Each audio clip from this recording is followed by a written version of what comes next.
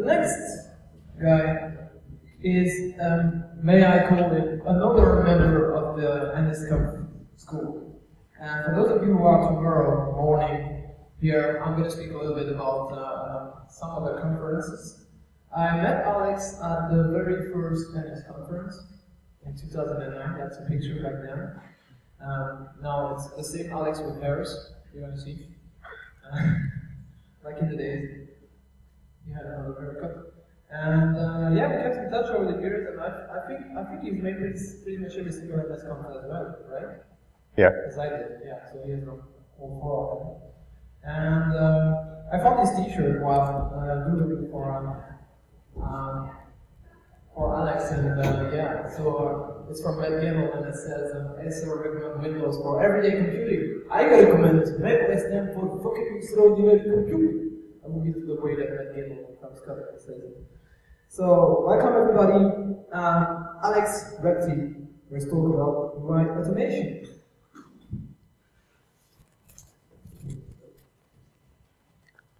That's not the way you walk up people.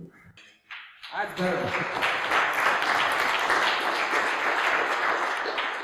Thank you very much for the kind introduction. Um, although I have to say you suck at Scottish accents.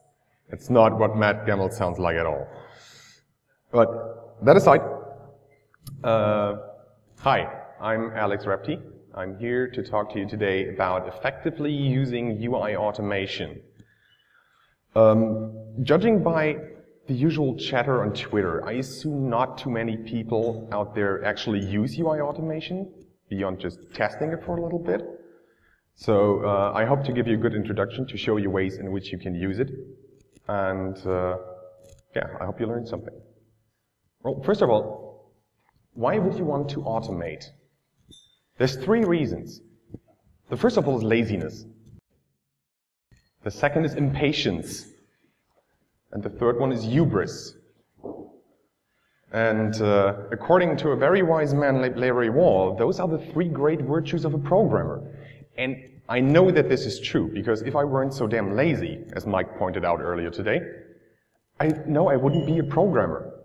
If I wasn't lazy, I would do repetitive tasks, and I wouldn't invent ways to avoid doing repetitive tasks. So this is what drives me to do automated testing on my software. Because I don't want to sit there and do the same test over and over again if some program can do it way better than I ever could. But what are automated tests, actually? Automated tests, in this case, UI automation, drive the user interface without any human interference. Basically, the point is you just start a script, it drives the UI of your application, and does things that normally a human would do, testing your application and looking for failures. I think of it just a little like unit tests for the GUI. And as those tests run, they log progress, basically passes and fails in your application and inform you if something breaks. You find out quickly when something does break and uh, can do countermeasures instantly without shipping the software with the fault inside. But that's not all that UI automation does. UI automation can also be used to automate annoying tasks, which is where the laziness comes in again. You don't want to do the same thing over and over again. Or you could use it to demo your products. Think of a trade show. You're, so, you're showing something, your product, on an iPad, for example. If you do it yourself, you obstruct the view of your product. And you have to focus on using your product and talking to your potential customer at the same time. If you run an automation script and the software shows itself, you can engage your customer much better. And you can use it to quickly perform tasks multiple times. Just write a for loop and do something a hundred times, a thousand times. It doesn't matter. You can also use it for screenshots and screencasts. You can automate screenshots at various points during uh, the running of your application. And you can use it for screencasts. You can record the screencast of a predefined script, so there's no possible mistakes in doing a wrong click or losing your train of thought. Now, I'm talking specifically about UI automation here and not about any other frameworks that would allow you to record tests or write tests and run them on your simulator or device. That is because UI automation is instantly available for everyone. If you have Xcode and instruments on your Mac, you have UI automation. Well, if you have the iPhone S iOS SDK, then you have UI automation. Um, so all of you can start using it right away, and there is no arcane setup, uh, like no 1,000 word manual to install it and get it to run. It's very easy to set up and use. I'm going to show you this in a minute. Compared to other frameworks, it's a blast to just get started with it. And it improves your application accessibility. And uh, you all hopefully know that accessibility is a very important topic. And Apple is on the forefront of making their products accessible for people who, for example, are visually impaired or even blind. And so should you. And it's very, very easy. And I'm going to show you this in a minute. First of all, I'm going to show you an example of what it's like to use UI automation. I'm going to use my application Foodish here. Um, it's been on the App Store for a while. It's totally not accessible. I know, I'm at fault. Um, and well, it's, it's, I think it's a well-designed product. And usually people back me up on this, so I can do this claim here. And but it's not very accessible, and uh, I have no automated testing on it. So I've, I've, never actually used UI automation on Foodish. So I just take whatever was the last tag in my repository uh, and run this and use UI automation with it and see how well it works. And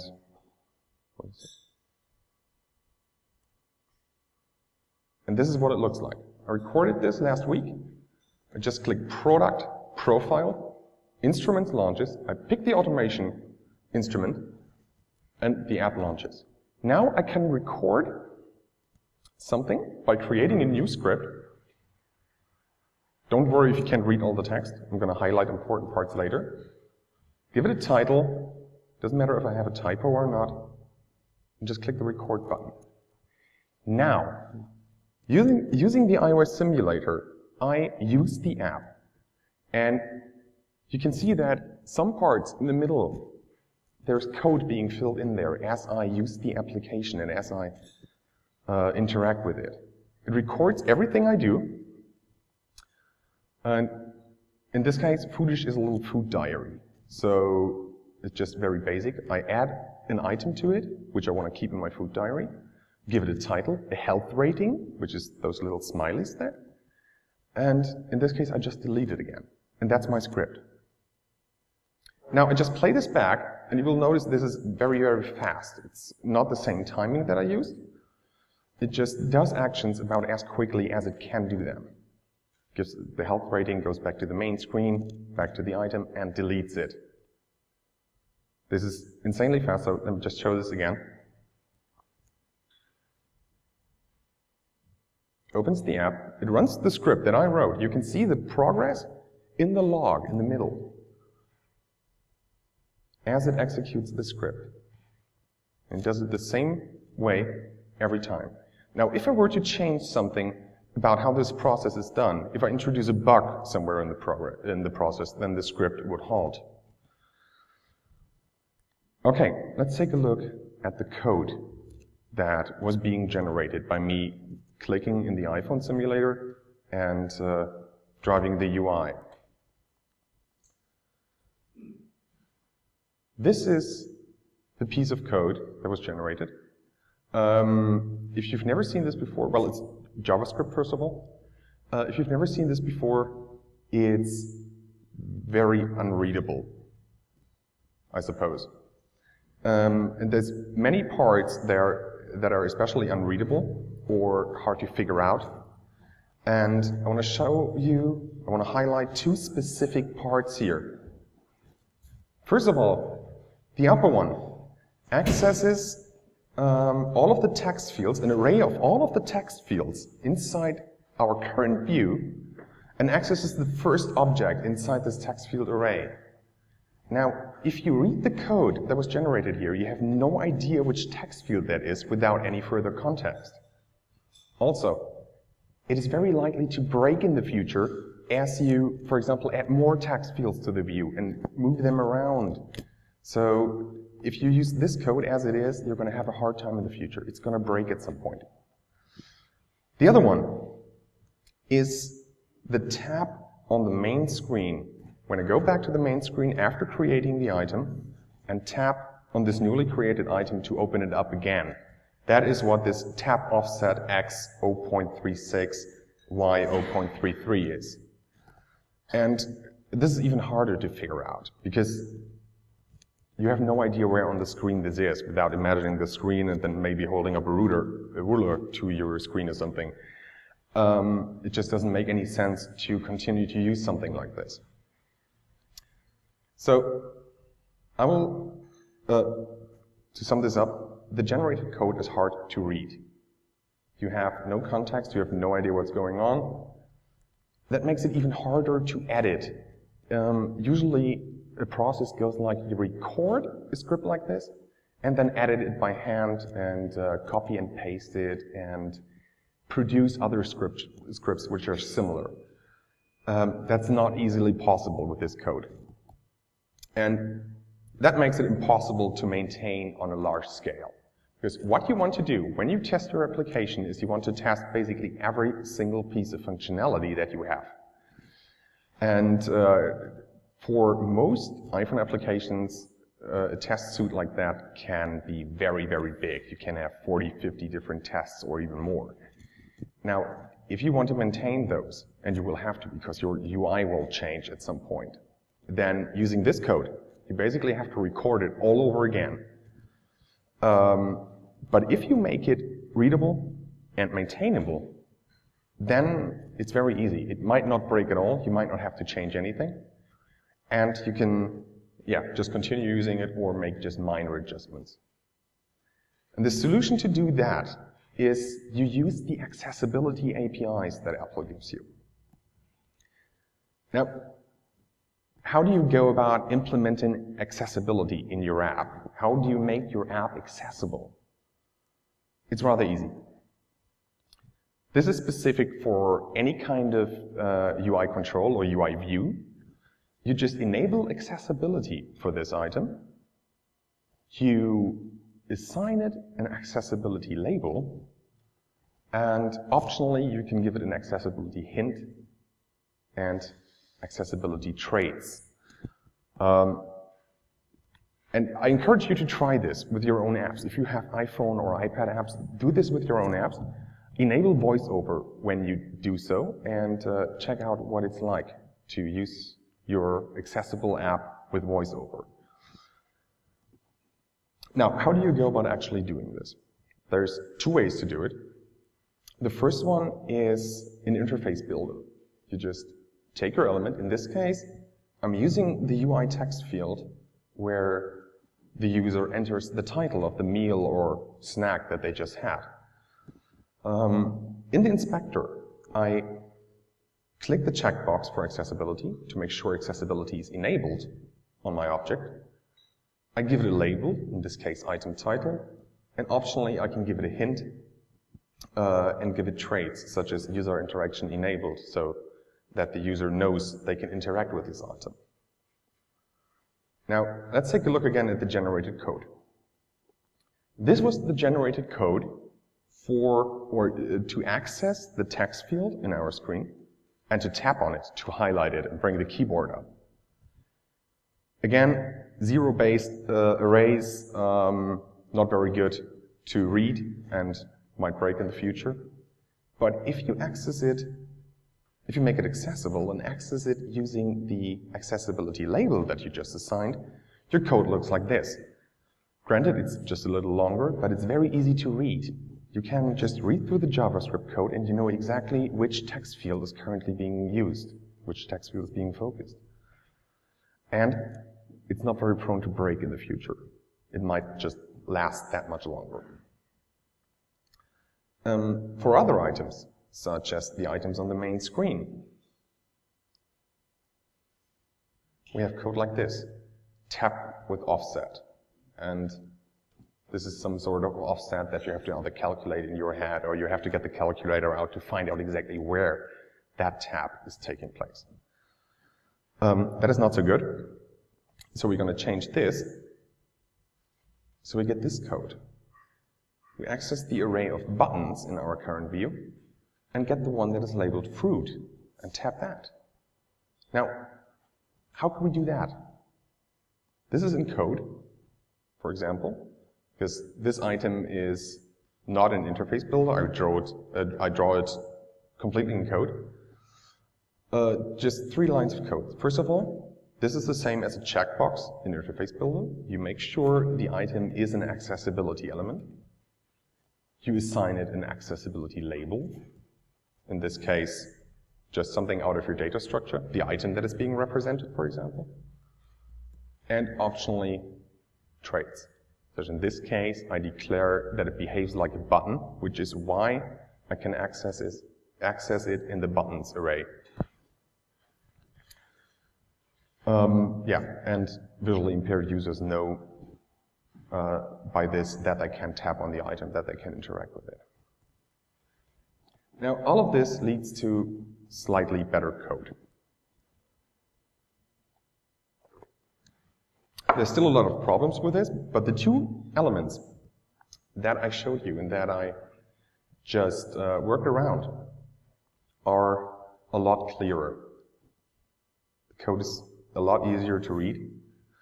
Uh, you know what is going on, on what kind of items uh, this script is working, and uh, it's also way easier to maintain in the future.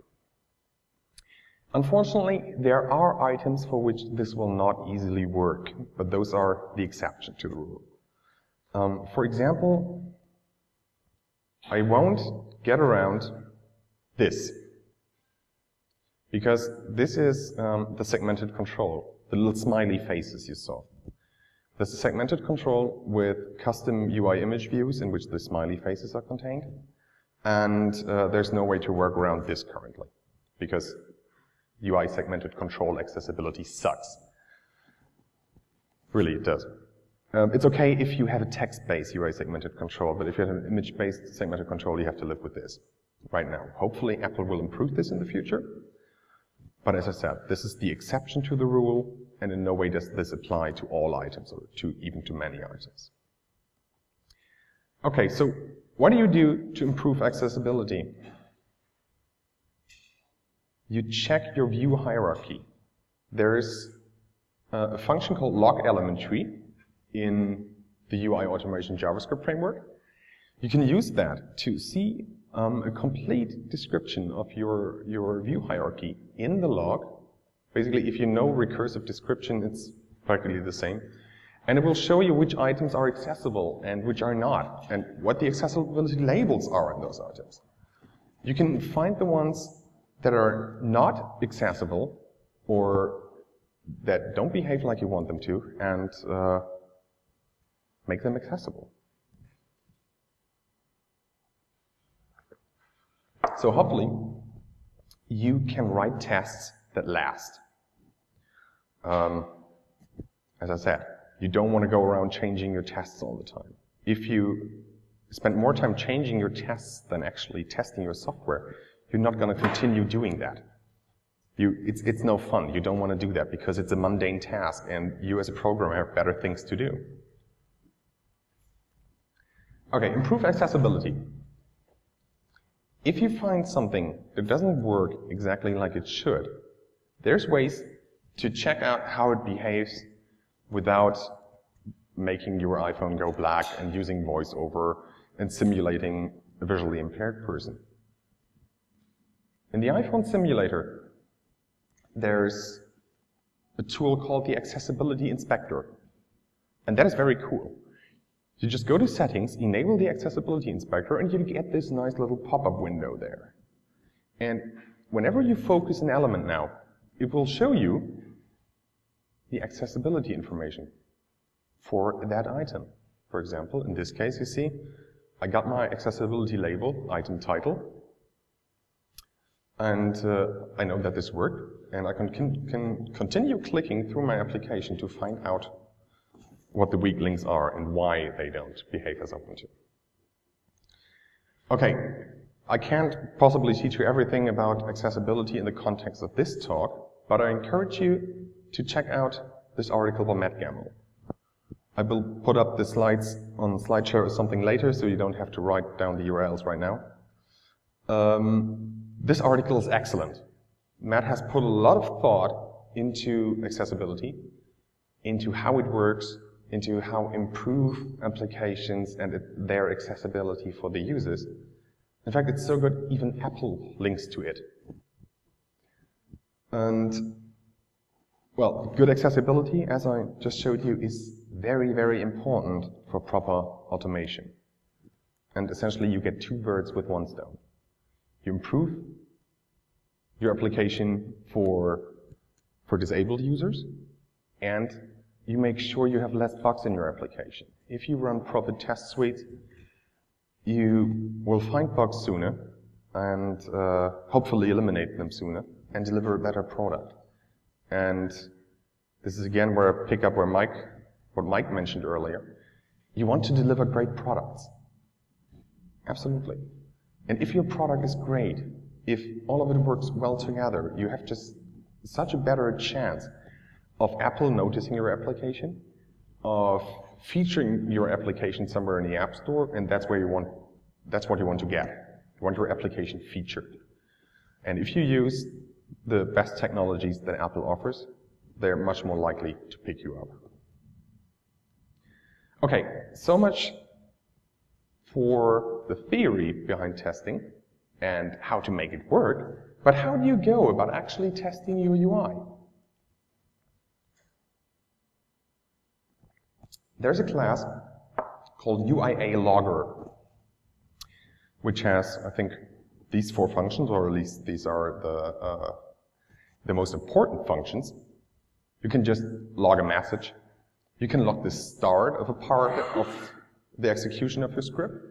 You can log passes and log fails, and they will show up as such in the log of, in instruments.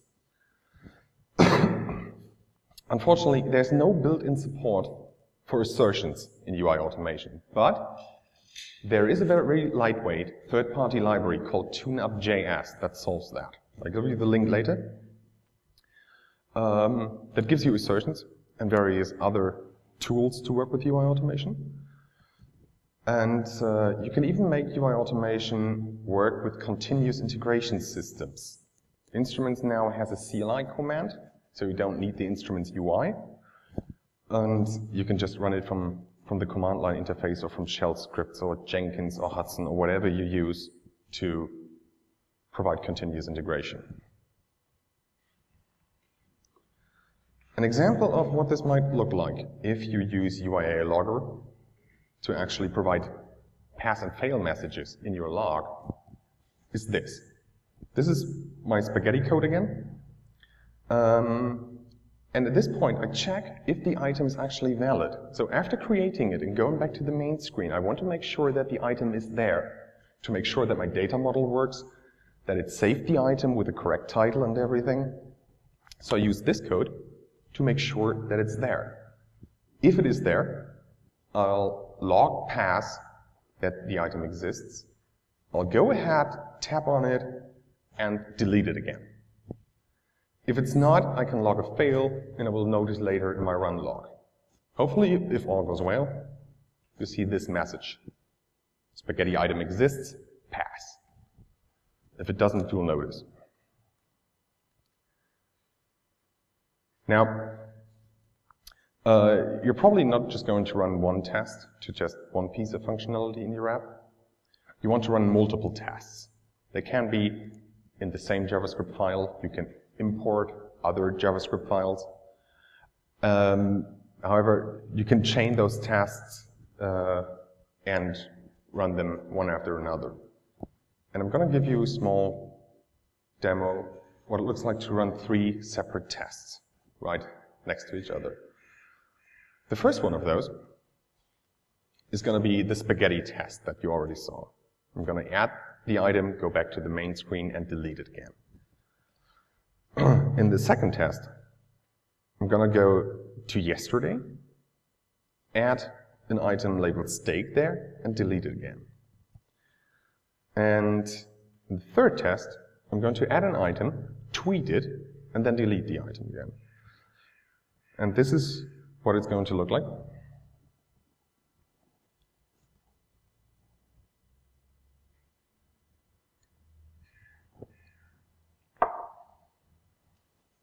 You've all seen this part. There's nothing new right now.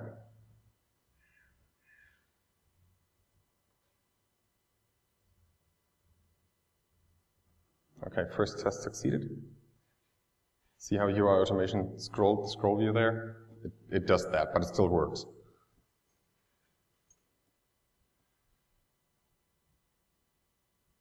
Here's again. I'm sure it can be made to, to look actually better, but I haven't played around with it very much. Okay, so now is something you haven't seen. I'm gonna add an item, damn you autocorrect, and tweet about it.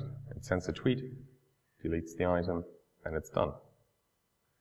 This is practically what a test suite would look like. Now, these are the, the results. We get a pass for the spaghetti item. We can even take screenshots of our tests to verify that our UI looked the way we wanted it to look. For example, if you have a large number of tests running, you may want to run them overnight or on a different machine if you use CI. And uh, you can just check up later to see what the results were of your tests. And if you have screenshots, if something fails, that's an invaluable resource. Ken mentioned this earlier, you want to log stuff. You need to gather data about the failures and bugs in your programs. And this is an excellent way to do it. now, there's several more things you can do with UI automation. Um, for example, you can handle both unexpected and expected alerts. You all know this, a UI alert view pops up. It might be from your program, you might want to be testing your error handling. It might be from the operating system because some sort of alert is going on. Um, you can provide a handler function to handle those alerts and uh, use them accordingly. You can test multitasking. Uh, you can, for example, deactivate the app for any given duration and see if your background code works correctly. It just enables the app again, brings it back to the foreground, and you get to see if everything is still working and if your background handling code works. Orientation changes. Uh, since you can also check the frames of object and do screenshots, you can easily test to see if the items are all where they should be when the orientation of your device changes. You can set the location. So if you have an application that uses location data, uh, you can set the location inside your test, and thus you have a way of, of automating running around somewhere and getting new location data constantly. And you can do gestures as a, as a pinch gesture or swipe. You can do all those. Now, several other things that you can use your automation for, not in the context of testing your application stability, are, for example, you can take screenshots, as I just showed you. You can use those to automate screenshots for the App Store. That's really good, because if your UI changes just a little bit, you might have to go around doing all five screenshots again. Or, if your app is localized, you might need to go around and take 50 new screenshots. And you don't want that. You can write a script that does it. You can use localized um, scripts, because the item, the accessibility item label will change, of course. you can use localized scripts and do that. And I hope your applications are localized. If not, there's two people who are coming up after me who want to talk to you about that. And you can do easily reproducible screencasts with perfect timing. You can just build in small delays where you need them for narration. Uh, you can do, you can drive your whole application as fast or as slow as you want. And you can document your test runs, gather data. If something fails, you want to know why it failed, and you want to know how it failed. Okay, another interesting thing you can do with UI automation, and that I actually did with my application, is this. Everybody get what that is? Basically, it just taps on random locations all over your application. Uh, in this case, a thousand times. You could do it like a million times and leave it running overnight. And you're going to find out interesting things about your app that you didn't know before. I guarantee it. I found out that this happens. The target application appears to have died. Yes, it did. Um, first of all, I was not very happy about this, but then I realized I just found a bug. Within a few minutes of testing UI automation and just running this buckshot testing script, I found an actual bug in my app, and I, I, now I can go and fix it. Or, well, okay, I was too excited and clicked the error message away, and now I can't fix it. Okay. These are all the things that work pretty well with UI automation and that will really help you make your apps better. Um, but there's, of course, a few things that are not so good about UI automation that I think you should know too. For example, there's no way to set up or reset state. So if a test fails, you may have to exit the script and uh, delete stuff you just added manually or delete the preferences files or what have you. Delete the whole application of the simulator. Um, you can, of course, work around this if you have a continuous integration environment, because you can just put every test into a single JavaScript file, and if it did not work correctly, just reset application state. It only runs via instruments. There's no standalone binaries that will run, so you have to use the instrument's UI or the CLI command. If you do use the CLI command to integrate this into a CI workflow, you might need some arcane shell scripts to do that. Fortunately, there are very clever people in this world who have already figured out how to do this. So I'm going to give you the link for a tutorial on how to do this with Jasmine and Jenkins in a bit. And um, this might be very important for some of you. There's no built-in method for mock objects. So if you definitely need mock objects, like in unit testing, you might have to do a special build, special build conditions or something. All in all, UI automation is still very young and still maturing. I think it came out two years ago, in 2010, with iOS 4. They, add, they added recording capabilities in iOS 5, and uh, well, it's still growing. Um, hopefully, Apple sticks to it, puts a lot of effort into it, because I think it's a great way to test your applications, to find bugs, and to improve your applications. Um, there's, of course, other frameworks that I didn't look into nearly as much um, because they have certain drawbacks. Uh, but I'll show you what is good, what's bad, and what's ugly about those. For example, there's Squish. Squish is uh, an application by a company from Hamburg called FrogLogic. Um, what's good about Squish is that it provides multiple languages to write your tests in. You can basically use Ruby, PHP, Perl, JavaScript, basically every scripting language you can think of. And it runs on multiple platforms. So if you have Mac applications and iPhone applications, Squish might be something for you. But it's a commercial application. And I think the cheapest one developer license that I found was about 2,500 euros or so. And the ugly? You need Eclipse. Thank you. There's KIF, keep it functional, from Square. You know, the, the guys who do credit card payments on iPhones in the US, unfortunately not here. Um, the good thing about KIF is you write your tests in Objective-C as opposed to JavaScript. So you don't need to dive into JavaScript. You don't need to sit around all day. Oh God, I hate JavaScript. You can just write it in Objective-C, much like your favorite unit test framework. and uh, yeah, don't need to switch to instruments, for example, to edit your text or to a different IDE to edit JavaScript. You can just do it all in Xcode. Now, the bad thing about KIF is that it uses private API to accomplish its task. You might say that's not so bad. I don't want to submit my tests to the App Store, just the actual app.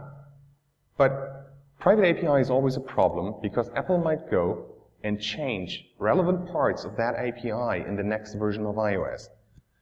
So you might be left sitting there without a working test when iOS 6 comes out or iOS 7, and your tests just don't work, and you have no way to quickly make them work. And the ugly part about this is the setup.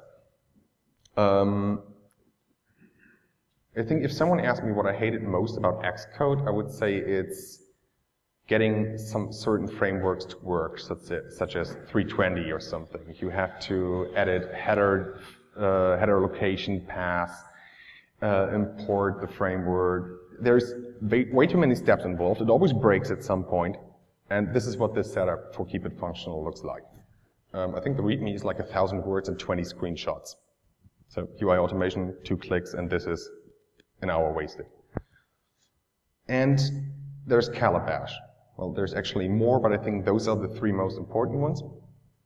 Uh, Calabash has a very interesting approach to automation in that it, uh, it uses natural language. So um, I don't know the exact specific, but it's like when I tap this, I see this. And if it doesn't see that, then your test failed. Um, yeah, but the setup for Calabash is bad. It's not as bad as, as Keep It Functional, so this is why this is in the bad column and not in the ugly column. Um, the ugly part is that it uses a client-server architecture. So you need to integrate uh, the server into your iOS code to run it on the device. It's all very annoying. Those might offer, all of those might offer more features than UI automation, but they're just not as easy to use, and you can't get running as quickly. Okay, so all in all, I think I'm a bit short here. Um, I think automated testing is awesome. It frees me from from repeat uh, from repetitive tasks because this is where laziness, impatience, and hubris comes in again. I'm too lazy to check all of my application's features again whenever I commit something to my repository. I'm too impatient to wait for the results for that because I have to click around and I take shortcuts. I know, oh, I didn't change anything related to that view controller. I don't have to change it. That's always the one that's going to break. And uh, yeah, that's hubris for you, basically. Um, UI automation is pretty good, as it is, but it's even better with accessibility support. And you get two birds with one stone. You test your app, you make sure it has less bugs, uh, you ship a better product. It's, it crashes less. It uh, always handles data correctly, hopefully. And it has accessibility. You just made your app that much better with very little work. Basically, you build cases to test your application's features. In the ideal case, you want, you want one test case, at least one test case, per feature of your app. So in my case, I would write one to test adding an item and deleting it again, and verifying that it's actually deleted. And I would test one, uh, I would write one test to check uh, the, the tweet functionality, and one for the Facebook functionality. And when I add new features, I need to write new tests for that. In the ideal world, you basically start writing tests as soon as you start writing code.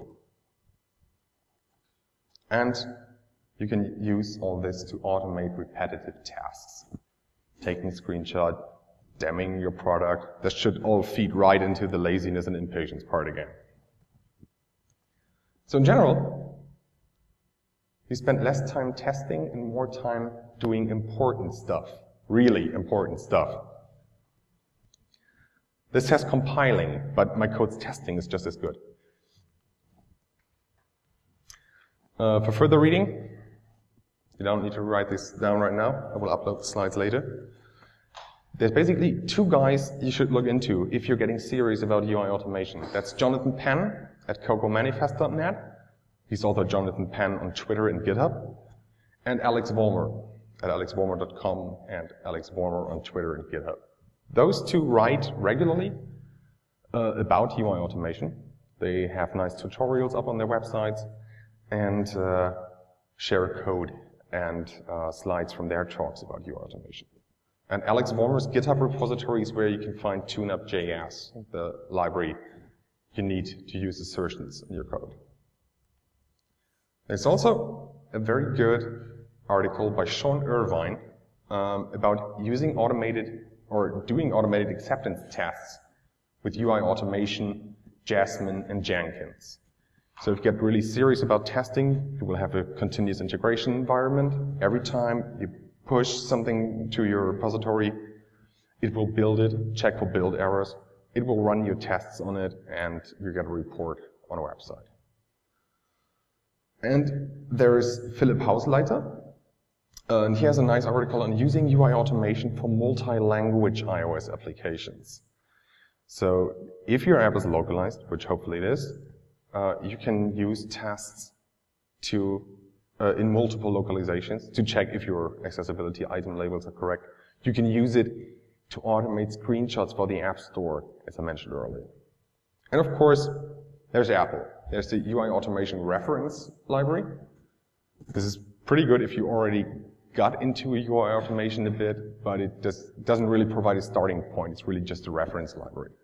But they have WWDC session videos, there was definitely one in 2010, uh, I think session 306, um, but there might have also been some in 2011 and this year's WWDC. So download the video and check that out. Hmm. Thank you for listening.